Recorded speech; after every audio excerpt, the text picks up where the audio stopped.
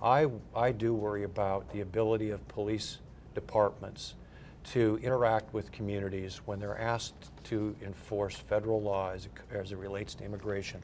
When I was a police officer um, on the street, you would make an arrest when somebody committed a crime.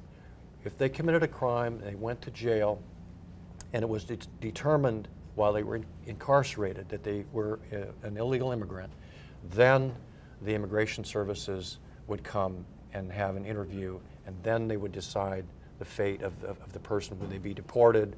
Uh, you know, whatever other options they had avail- uh, available to them.